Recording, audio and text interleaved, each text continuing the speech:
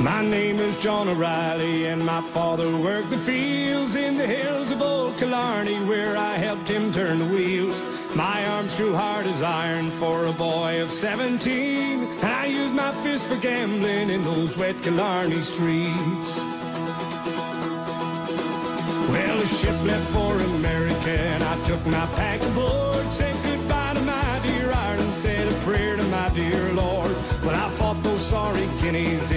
kitchen they called hell, and I fought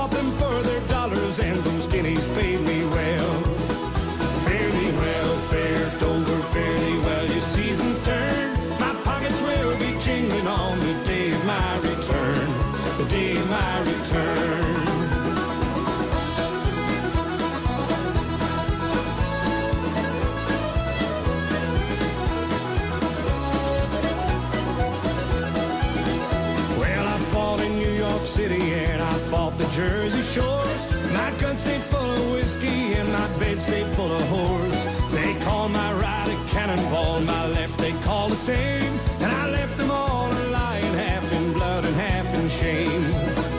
Well, I met a man on 32 and he stuck out his hand.